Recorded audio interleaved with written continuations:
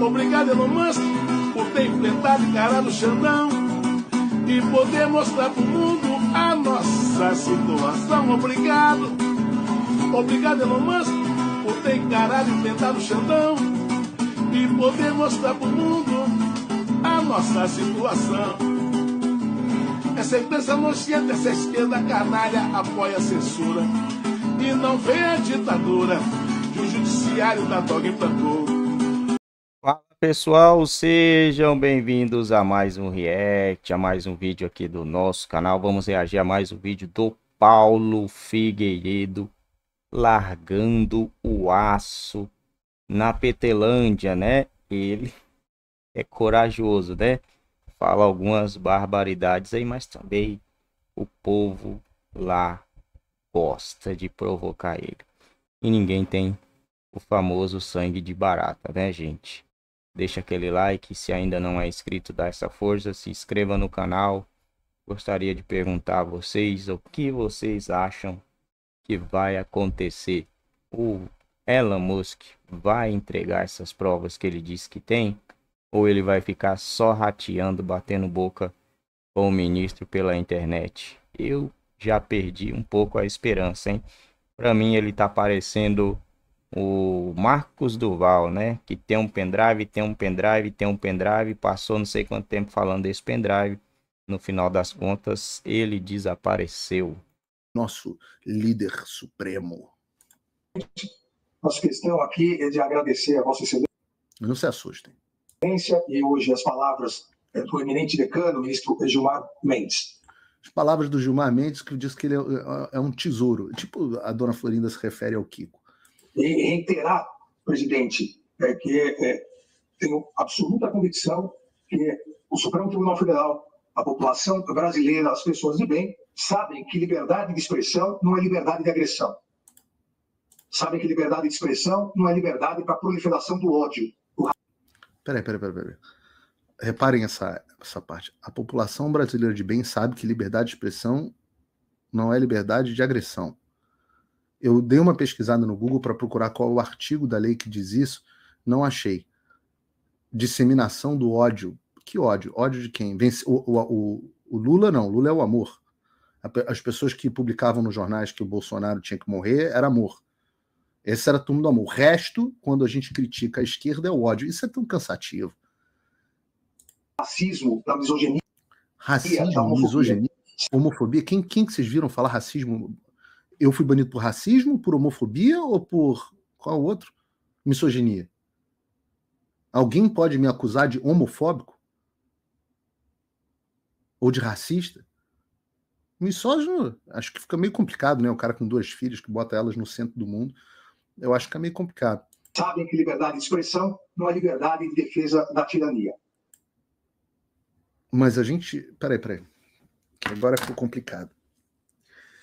Você está sendo chamado de tirano no mundo inteiro, como a figura mais draconiana do mundo.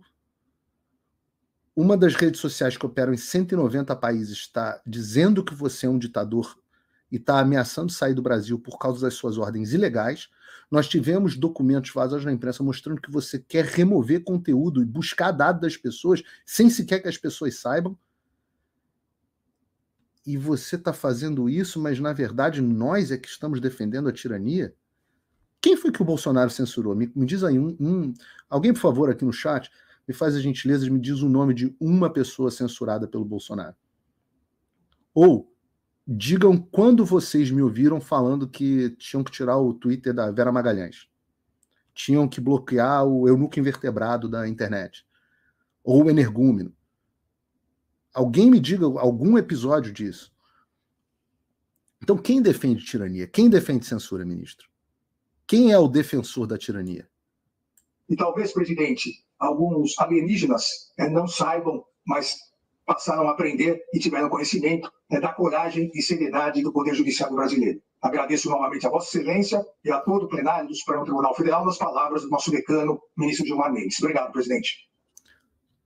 Coragem do Supremo Tribunal Federal Brasileiro. Coragem.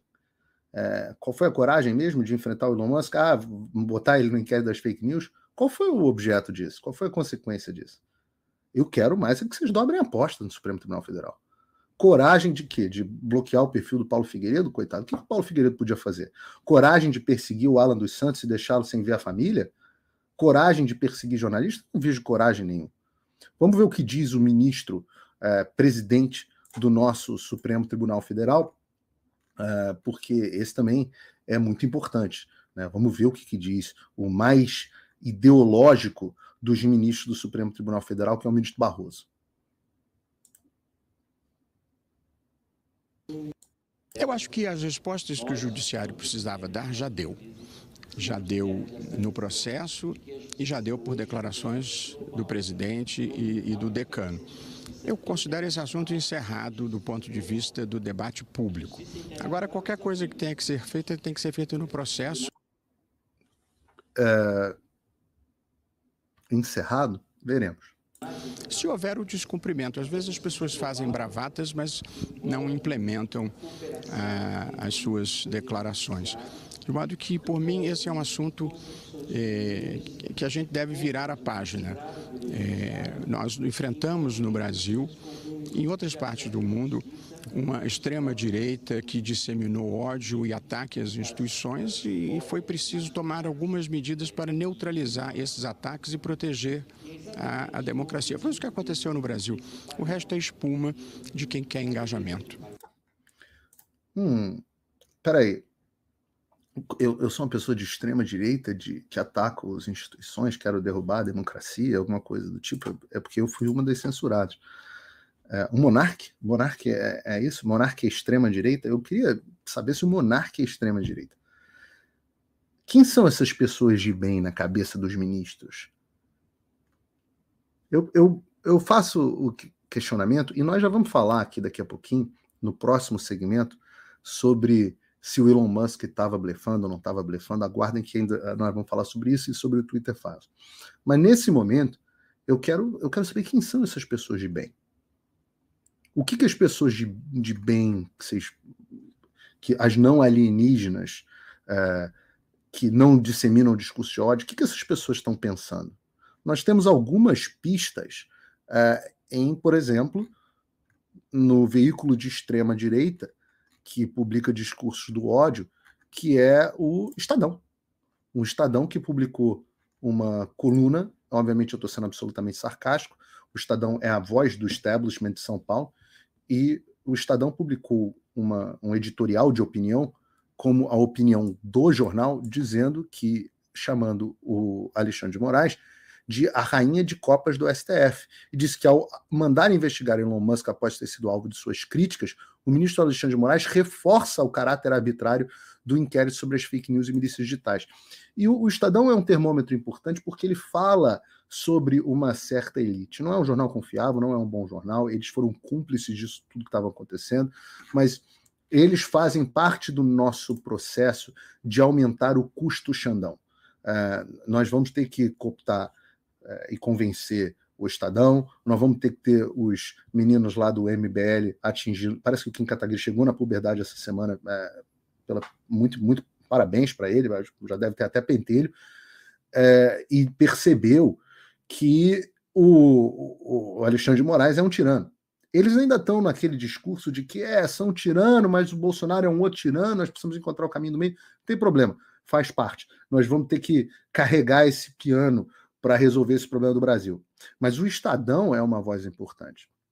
É um lado da história. Além do Estadão, nós precisamos saber o que, que, pensam as pessoas. E uma pista do que pensam as pessoas, porque será que são todas alienígenas?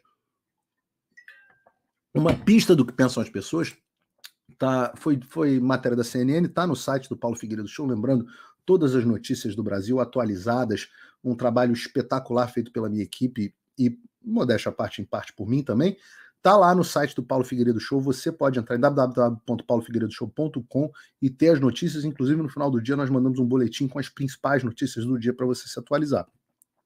Mas uma delas diz o seguinte: 68% das menções nas redes foram críticas ao STF e 32% criticando o Elon Musk.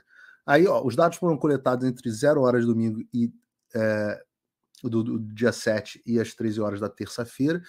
E, segundo essa pesquisa da, da Quest, 68% das menções foram em favor do Elon Musk e 32% em favor do Alexandre de Moraes, ou, ou, em desfavor do Elon Musk. E isso é muito interessante é, por vários motivos. Nós temos um outro levantamento, esse feito pelo The Spectator Index, que é, é está atualizado aqui nesse. Não, Final Results, está aqui, uma, uma enquete que teve 178 mil votos. E segundo essa enquete, uh, ah, 61% das pessoas uh, apoiavam o Elon Musk e o X, e, o X, e 38,4% apoiavam o Alexandre de Moraes. Lembrando, claro, essas enquetes, essas coisas não têm representação estatística como uma pesquisa de opinião, mas elas mostram algumas coisas importantes. Uh, a primeira delas é que você também que está em casa precisa entender. Uh, por mais que estejam aumentando as críticas ao Alexandre, etc., etc., o, a divisão uh, no Brasil vai acontecer. E nós temos um alto grau de pessoas que defendem uma ditadura. Elas defendem, são pessoas que não estão nem um pouco preocupadas com seus direitos e liberdades individuais.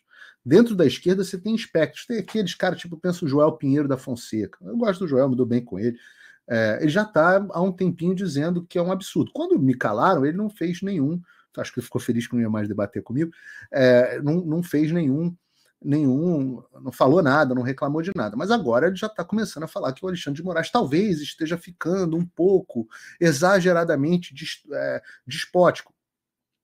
E, e, tem esse processo, tem essas pessoas do MBL, tem aquela, aquelas pessoas ali da esquerdinha, é, é, é, digamos assim, liberal. Daqui a pouco a gente vai pegar um João Amoedo da vida, não que tenha relevância, mas é, é só como termômetro, mostrando para gente o que, que essas pessoas pensam. E nós temos um percentual, segundo 32% segundo a Quest, 40% segundo 38% segundo o Spectator, Spectator Index, é, que vão apoiar essa ditadura. Saibam disso. Esse é o processo. A, nação. Só que eu acho que essas pessoas são minoria no Brasil. Então, para aqueles que dizem que o Lula não tem voto, que é, ah, porque o Lula não, ninguém aparece apoiando ele, etc, etc, entendam. O Xandão está vivendo na bolha dele dos 38% e você está vivendo na tua bolha dos 60%, ou 50 e poucos por cento, seja lá qual for. Cada um vivendo na sua bolha e com uma percepção alterada do universo. Vence uh, aquele que compreende melhor a realidade. E por isso que o processo de compreensão da realidade, todo o processo passa pelo convencimento e conscientização nacional e internacional, da qual nós certamente vamos falar daqui a pouco.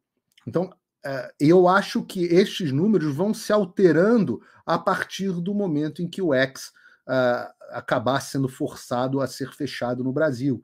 O custo vai sendo vai aumentando. E isso é uma conversa que nós temos que ter. Enquanto isso, o povão brasileiro faz o que ele faz de melhor. O que, que o brasileiro faz melhor? O brasileiro faz melhor samba. É, pagode do Elon Musk, simbora. Parabéns, parabéns. Batam palmas pra ele. Elon Musk é nota mil. Não podemos aceitar a censura no Brasil. Batam palmas, batam palmas pra ele. Elon Musk é nota mil. Não podemos aceitar a censura no Brasil sistema foi longe, querendo calar e dominar uma nação, censurando e cerceando a liberdade de expressão. Eles estão reinventando nossa Constituição. Tem pessoas sendo presas por crime de opinião. Obrigado, Elon Musk, por ter enfrentado e carado o Xandão e poder mostrar pro mundo a nossa situação. Obrigado Obrigado, Elon Musk, por ter encarado e enfrentado o Xandão e poder mostrar pro mundo a nossa situação. Essa imprensa nojenta, essa esquerda canalha apoia a censura e não vê a ditadura que o judiciário da toga implantou. Para defender o bandido, o sistema condena uma nação. Um país sem liberdade é um povo sem razão. Para defender o bandido, o sistema condena uma nação. Um país sem liberdade é um povo sem razão. Parabéns, Alamãs, você é mesmo nota mil. Não podemos aceitar a censura no Brasil. Batam palmas, batam palmas pra ele, Alamãs, que é nota mil. Não podemos aceitar a censura no Brasil. Diga não, ditadura. Bom, pessoal, é isso aí. Eu acho que dependendo, né, de como for esse vídeo, vai ser o último aí que eu vou postar do, do Paulo Figueiredo, né? Parece que o pessoal não tá curtindo porque não estão assistindo. A taxa de clique tá bem baixa. Vamos ver se esse tiver visualização, tiver muito engajamento, eu continuo. Se não, aí eu vou parar. Porque se esse tiver engajamento, é porque o pessoal já tinha assistido o que eu postei anteriormente no, no canal dele, né? Aí faz jus a não o pessoal assistir no meu canal. Mas se continuar tendo, aí eu continuo postando. Porque os dois últimos vídeos que eu postei ah, foi lá embaixo, né? Foi na lona o, o engajamento do, do vídeo aí no canal. Vamos ver. E aí, o que vocês acharam do, do vídeo? Eu, eu gostei desse vídeo aí, principalmente do finalzinho aí, né? O cara inventou aí um pagodinho, né? Que fala, é pagode? Isso aí eu não, não conheço, pessoal, não conheço. É, muitas músicas, na verdade eu nem curto música, né? Então eu não tô por fora. O que, que é esse estilo que ele, que ele canta? Eu acho que é pagode, né? Deve ser pagode essa treta aí tá enrolando, tá enrolando e nada sai. Eu tô esperando para ver se o Elon Musk tá cozinhando o Brasil em banho-maria, falando que vai mostrar e não mostra nada, ou ele tá usando alguma estratégia, algum marketing para soltar na hora exata, no momento certo. A gente não sabe, né? Vamos ficar aí esperando que solte logo mas se ele for soltar, eu acho que vai soltar na hora dele, no tempo que ele achar que é o tempo certo, né? Quem somos nós, quem sou eu aí para querer que ele faça aí no tempo que eu quero, porque eu queria que ele já tivesse soltado essas provas e o bagulho já tivesse louco e aprendendo o nego lá, bagulho lá, né? É o que a gente queria mais. Lula quer manter saidinha de preso. Essa aqui a gente já viu. Não tem também, né, muita coisa para falar. Bem fraco de notícia, até porque a essa aí, a treta aí do Elon Musk com o Barbudinho, com o Barbudinho não, né? Não é nem com o Barbudinho. Com o Vingador mais forte. O que falou que era o Vingador mais forte, na verdade não é, né? Vingador mais forte no caso aí é outro. E esse aí a gente vê que é forte mesmo. Conseguiu prender e enganar muita gente. Né? Naquele 8 do 1. Falaram para as pessoas que eram para elas entrar no ônibus, que o ônibus iria levar elas para casa. Quando no final prenderam todo mundo sem pensar se aquelas pessoas estavam é, culpadas, se eram culpadas ou inocentes né, da, eu falo culpados ou inocentes da depredação, né, que nem todo mundo que estava ali foi responsável pela depredação. Acho que a massa esmagadora, os responsáveis mesmo, acabaram dando no pé, né? Até teve uma mulher que estava com a pulseirinha na entrevista ali no, na Cristina Grêmio, entrevistou uma presa, né? Acho que tinha uma mulher que estava com a pulseirinha, ela simulou que estava passando mal. Os caras pegaram ela, levaram ela para outro lugar, e de manhã cedo ela foi liberada e debochando, né, rindo da cara dos que estavam ali presos. Então, só por isso aí, gente, a gente já já, já vê quem que armou tudo isso, né? Já dá para saber quem armou. Quem ainda não assistiu essa entrevista aí da Cristina Grêmio, é só ir lá no, no Gazeta do Povo e pegar lá as entrevistas, não os vídeos, né? Tem entrevista dela lá com presos políticos. E vocês vão, vão conseguir ver lá. Eu postei aqui no canal.